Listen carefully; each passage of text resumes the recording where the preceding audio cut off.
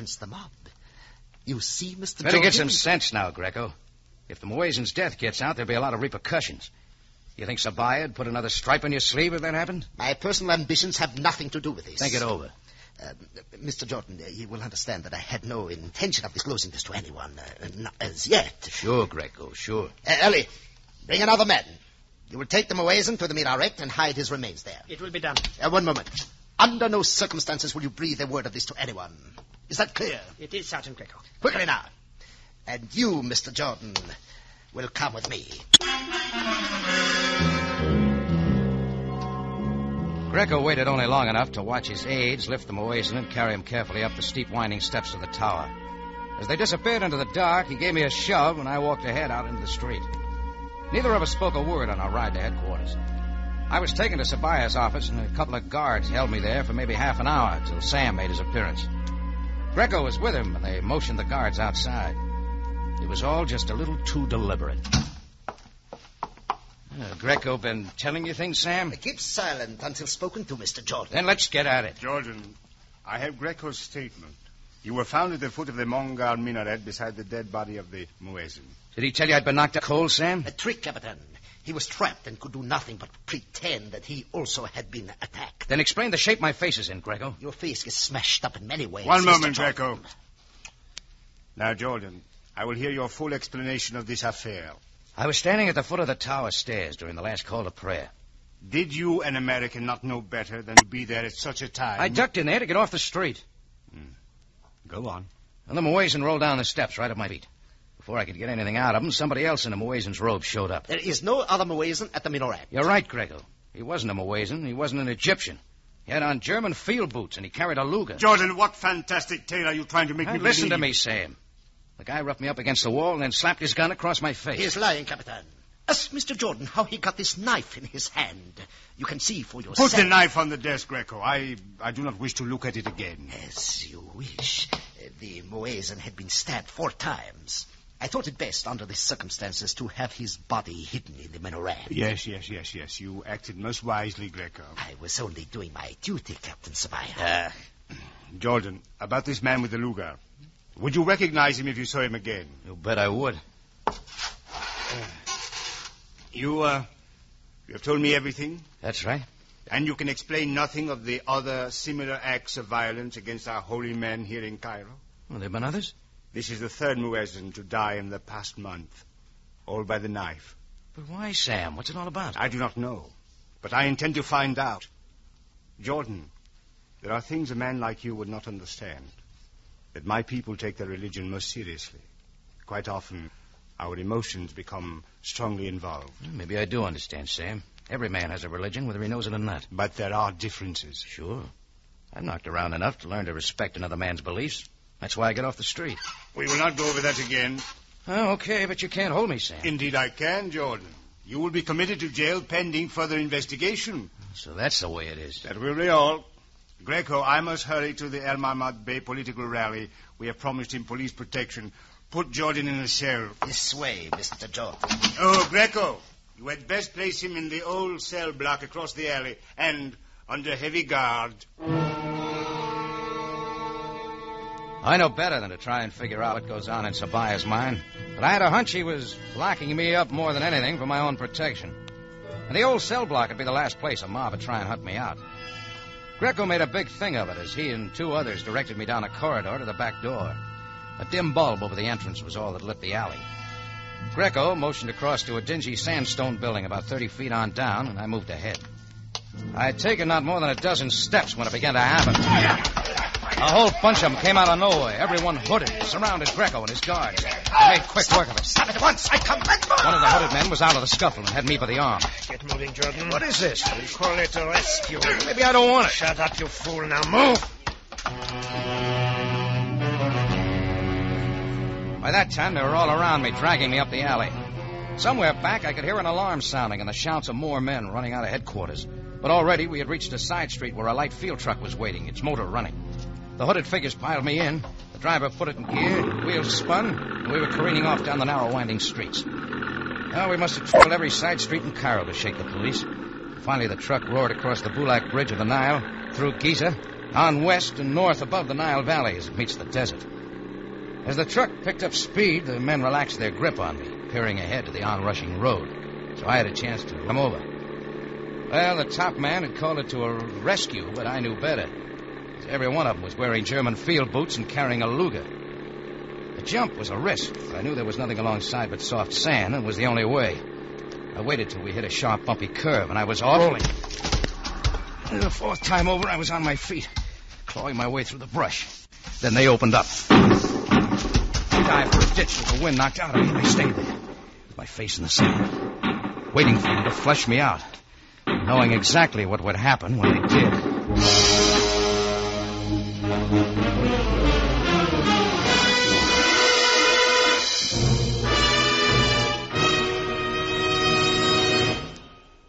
are listening to Desert Betrayal, tonight's adventure with Rocky Jordan. Travel to the ends of the earth tomorrow night with Dick Powell and Signe Hasso, who will recreate their original screen roles on CBS Radio Theater. To the ends of the earth is the story of the expose of an international narcotics ring and makes for an exciting story. Remember Dick Powell and Signe Hasso tomorrow, Monday night at 6.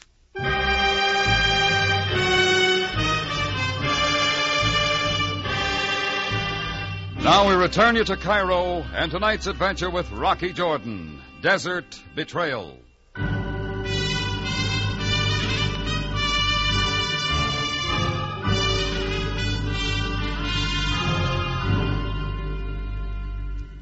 It was a peaceful evening as I stood at the foot of the minaret and listened to the Muezzin's call to prayer. But all that was changed a few seconds later when the Muezzin lay dying at my feet.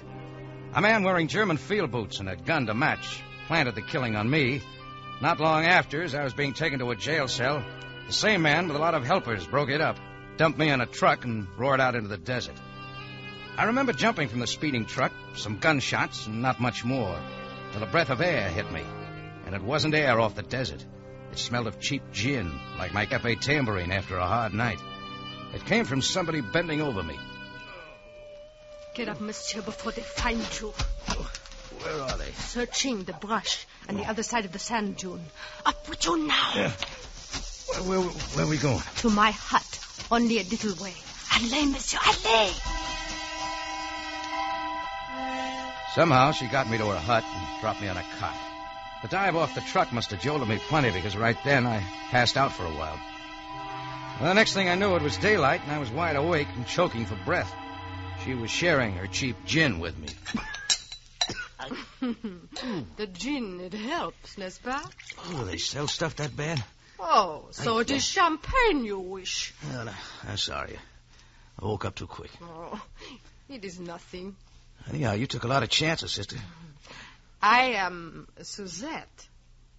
Perhaps another drink now? No, no, no, no, no thanks. As you wish. Yeah. Any of those guys come around? No, monsieur. They went away. Uh, looks like you got a good hideout here. Oh, well, we all hide from something, n'est-ce pas? Yeah, me from too many things. You, um, you do not tell me who you are, monsieur. The name's Jordan.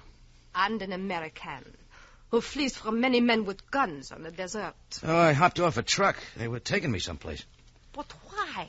Your guess is as good as mine. Many trucks have been going into the desert. Yeah? Where to, Suzette? I do not know. But something is going on out there. You. You were captured, monsieur? Oh, rescued, they called it. you make a strange riddle. Oh, yeah, it's a beauty. A Muezzin is stabbed to death in Cairo. Not the first to be killed. But whoever did it figured I knew too much. Before the police could salt me away, this gang grabbed Monsieur, me. Monsieur, what were they like? Well, they weren't Muslims. They were men who speak good English and carry Lugers. Oh, sacre nom. You got it figured, Suzanne? Oh, always it is the same.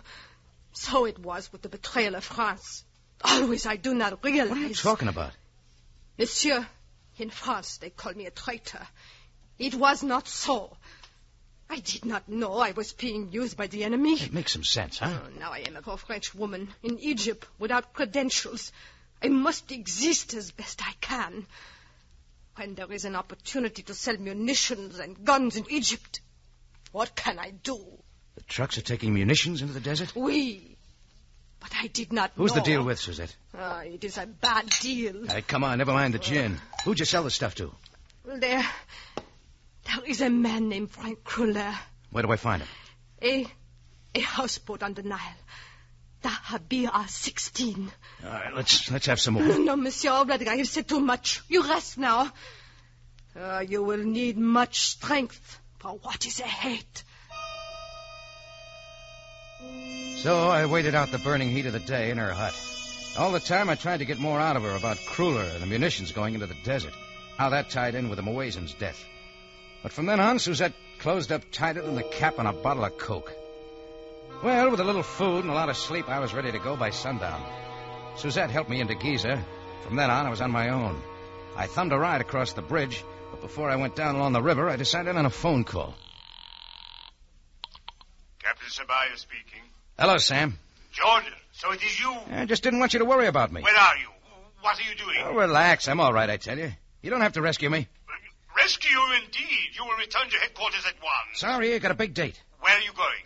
To see a guy named Kruller. Kruller. Frank Kruller. Any objections, Sam? Jordan, listen to me. There are things you do not understand.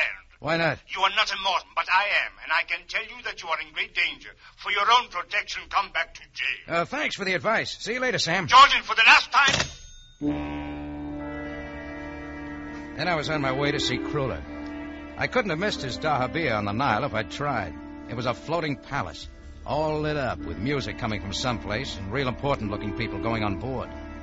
With a day's growth of beard and so on, I wasn't exactly in shape for a party, but I went anyhow. Only a big pile of muscles at the entrance stood in my way. Retrace your steps, offender. Don't get upset, Buster. I didn't come to see you. State your business here. Huh? Maybe I got invited. Only those of influence and wealth come here tonight. Uh-huh. Something uh, real special, huh? A reception in honor of the great El Marmad Bey. I've known bigger politicians. Yeah. Back to the streets with you, English. Not till I see Frank Kruller. He's not here. Well, let's look around. Get back now. Stop that car. What is going on here? Somebody was coming through the lighted doorway toward it. The one man I wanted to see more than anyone else. I'd last seen him under the minaret as he slapped a Luger in my face. Who is this man? He is no one. I tell him to go away. I will handle him, Jerub. So it is you, Jordan. Yeah.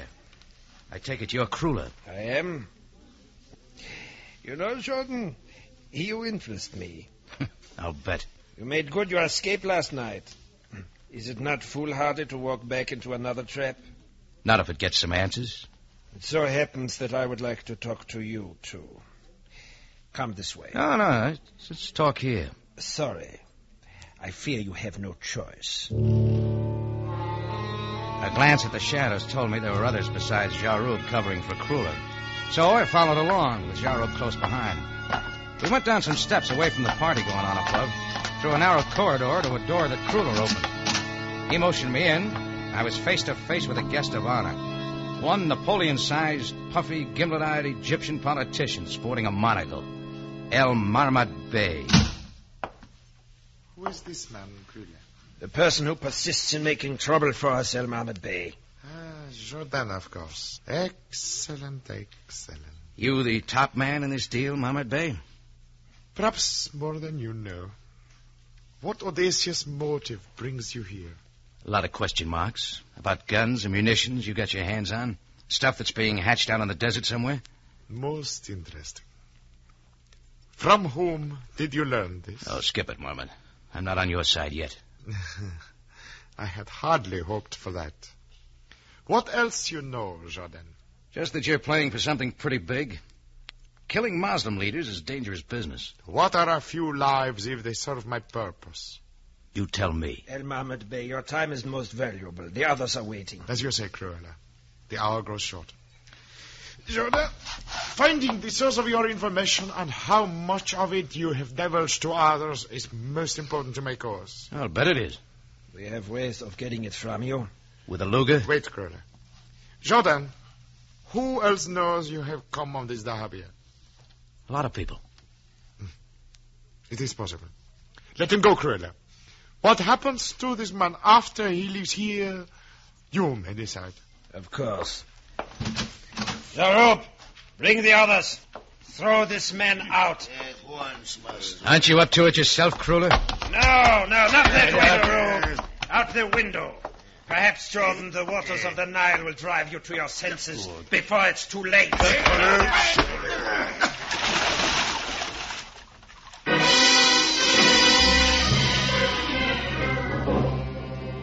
I got plenty of Nile water, all right, but I didn't head for the shore. I saw them moving along the bank waiting for me. Then a little boat took off downstream trying to pick me up. But they didn't know I was hanging onto the anchor chain. In a little while, I was pulling myself back into the little room. It was empty now. The noise of the party upstairs covered for me, and I started looking around. A couple of shoves, and I had the closet door open. What was inside didn't surprise me. Stack of small arms, Lugers, Mannlicher rifles, and cases of ammunition. Next, I tried the desk in the corner. The minute I cracked the top drawer, I had what I wanted. It was a list of various muezzins in Cairo. The top three names were scratched out, and I figured they were the ones who had already died. Maybe the rest were next. But it didn't say why. I folded the sheet and shoved it in my pocket. Suddenly, there was a soft step from behind. Before I could move, there was a silken cord around my neck, drawn tighter and tighter, and once more thick blackness poured in.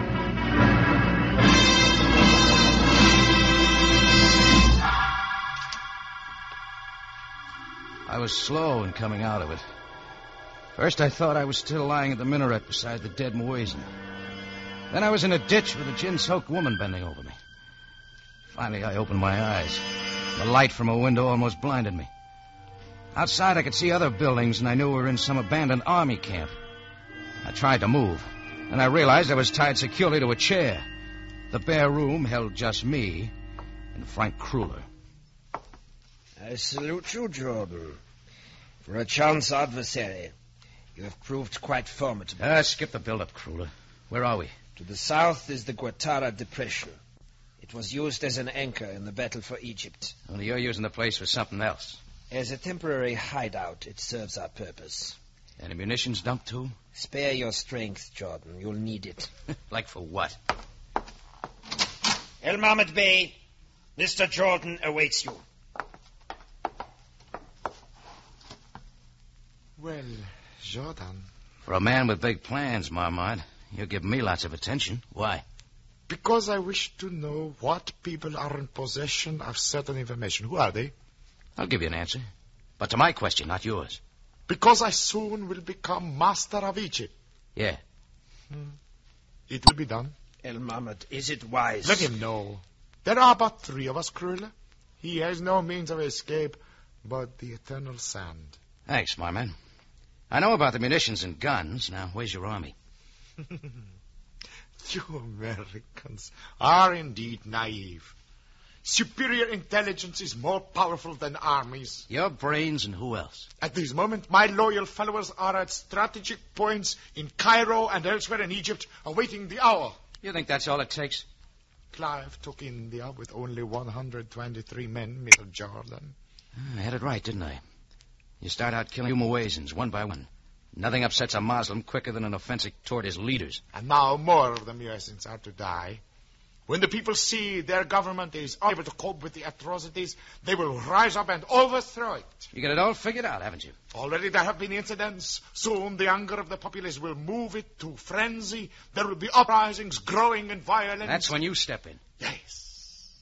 At that moment, the great El Marmad Bey will appear as their liberator. Yeah. The only trouble is it won't work. Indeed. Again, the mind of the West finds the mind of the East an insoluble riddle. Well, don't get me wrong, Marmot. You might use the religion of your people to get into power. Only you've forgotten one thing. Yes. What is that? Your people will still have their religion. How long do you think they'll be fooled? We Americans have a saying for that if you're interested. I am not. Your interest, Jordan, is in your own welfare. Well, think about it. When the people find out they've been duped, what do you think happens to you? At that time, my power over them will be assured. Egypt will enter an era greater than the pharaohs ever knew. Ah, hold it, Mohammed. Back that idea up with some more figures. Give me one example of a tyranny founded on religious oppression that has ever lasted. Mr. Jordan, the fact of the moment is that you will die. Tell us what we wish to know, and that will be swift and painless. And if I don't? Death in the desert is very slow. No man has ever withstood the heat or the sun in his eyes. Need I say more? I get the general idea. What is your answer, Jordan? I told you. It won't work.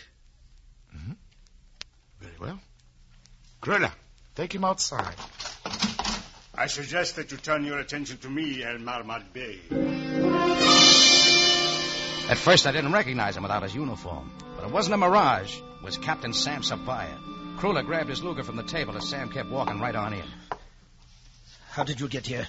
Is that important, crew? Watch that Luger, Sam. I'm tied here. I can't help you. That will not be necessary, Jordan. So, Captain Sabaya, the desert must claim another victim. That we shall soon see, El Marmad Bey. You had no way of knowing. Not everything, but certain things have come to my attention. When Jordan phoned me he was going to Kruller's Dahabia, I followed along, and I've been following ever since. Do you think your authority amounts to anything here? My authority and my uniform remain in Cairo. I come here only as a Moslem to right a grievous offense to my religion. You come to this forsaken place alone? Without even the proof? You can find proof, Sam. Look in the other buildings. They're loaded with arms. Search Kruller's houseboat. In good time, Jordan. Enough of this. Grilla, dispose of this man at once. A very great pleasure. Kruller aimed, and then it happened quicker than I could follow. Ah, Sam's foot came up a second before the shot, and the gun clattered across the room. Kruller dived in. Sam crouched like a panther, and then slammed Kruller over his head into the arms of El Marmot Bey, and they went down. I'd always thought Sam was pudgy and slow moving, but he gave me the show of my life. He used every trick on those two guys I'd ever known and a lot more. Second time Marmot came up, his stomach got mixed up with the left. He was finished. But Kruller tried for more. All the time, I couldn't move. Kruller went to work with his heavy boots, and that's where he made another big mistake. Sam flipped him into a corner, where he piled up like a stack of ten pins. Then suddenly it was all over. Yeah, I could book you for a main event, Sam. Jordan, you will make no joke about this. Such, such tactics are, are most distasteful to me. Okay. How about getting me loose here, huh? Well, you will, you will tell no one of, of this incident. Sure, sure. Just untie me. You know, Jordan, there are many things that you do not comprehend. Sam, get me out of here.